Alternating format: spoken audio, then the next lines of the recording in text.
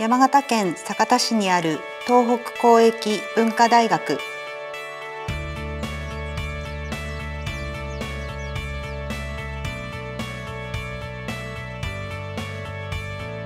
交易大には大、中、小と3種類の大きさの教室があります。ここが大学で一番大きい大教室でおよそ300人が一度に講義を受けることができます。公益大で唯一の階段教室です。100名から200名の履修者がいる講義で使用する中教室です。大学内に2つありどちらの教室もスクリーンが2つあります。片方でパソコンの資料を写しもう片方のスクリーンは使用せずにホワイトボードを使用するといった使い方ができます。32名定員の小教室です。外国語や情報科目などで主に使われます。学内に12教室ありすべてがバリアフリーに対応しています。学生の授業以外の自主的な学習を支援するためのスペースです。自由に移動できる机椅子やファミレス風のスペース壁一面のホワイトボードや電子黒板などもあります。教員の研究室前に配置されたスペースでゼミなどの少人数の演習科目でよく使用されています。学生や教職員のみが入室可能なエリアでセキュリティも考慮されています。学内に9ブロックあります。1階から3階までおよそ14万冊の収容能力があり現在およそ12万冊の資料を所蔵しています。専門書はもちろん雑誌や新聞話題の本なども多くあります。図書館の中には語学などを自学自習できる e ラーニングルームもあります。欅広場中庭です。大学祭ではここに特設ステージを設置しさまざまなイベントを行います。入学式や卒業式が行われるホールです。ホール内には536名収容でき2階の大型防音ガラス越しの空間を連結するとおよそ700席まで席を増やすことができます。公益大の食堂カフェテリアおよそ300席あります。山形県の美味しいお米つや姫や地元の安心安全な食材を使用しています。学生はもちろん地域の方も利用することができます。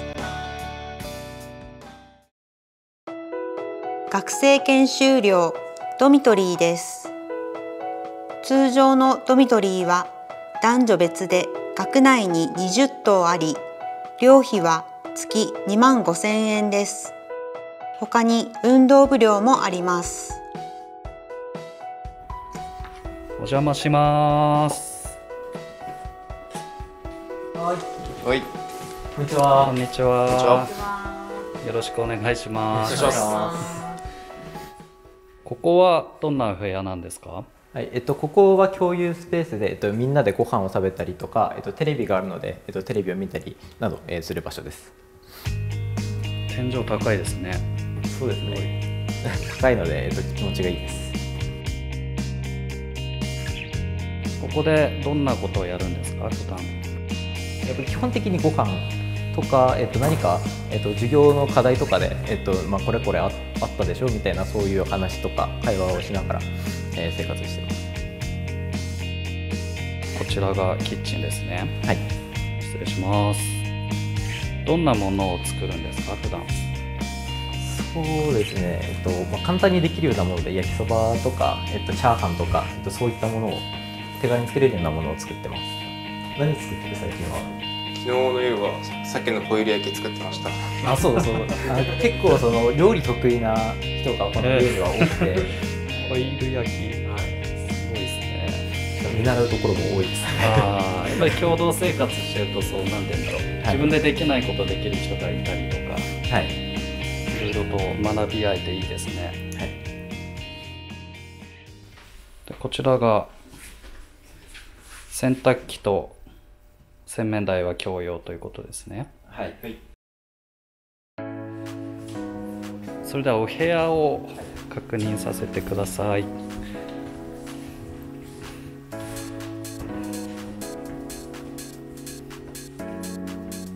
大きな窓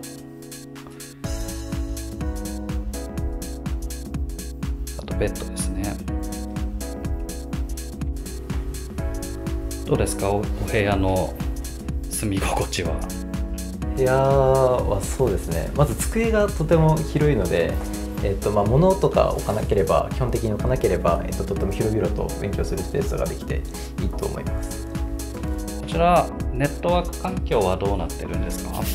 机の下にあってちょっと見えないんですが有線で接続できる口が2つありまして。環境は快適ですか？ネットワーク環境は。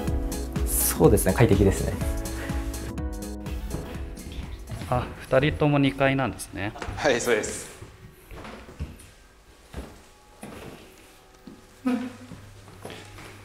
じゃあ先ほどは空き部屋を見せてもらったんですが、こちらはどちらの部屋ですか？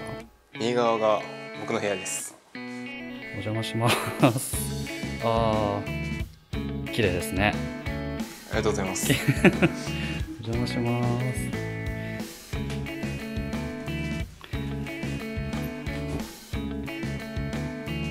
さっき言ってくれたように机が広いのでゆったり使えてる感じですね。そうです。パソコンと同時にノートも一緒に書いたりできるのでとても便利です。すごいですね。綺麗にしてますね。ありがとうございます。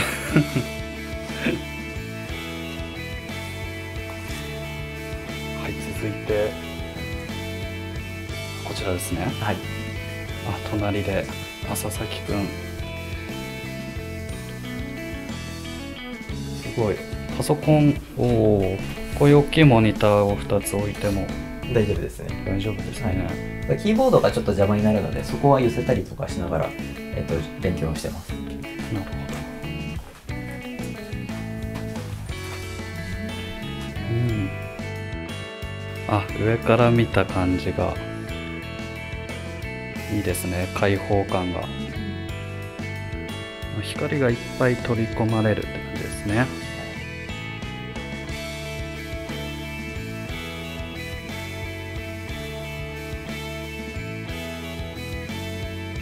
ドミトリーの暮らしはどうですか？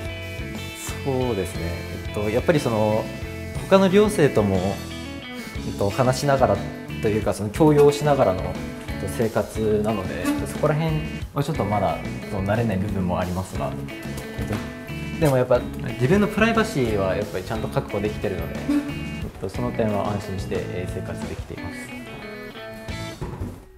す。掃除とかゴミ出しはどういうふうにしてますか？そうですね。掃除とかゴミ出しについては、えっと、寮に来た時に初めにもう決めていてあそこに表があるんですけれどもあそこに買い出しとかゴミ出し担当ということで、えー、表を作ってみんなで分かるようにしています、はい、では最後に寮にこれから入ろうか悩んでる人たちに何か一言。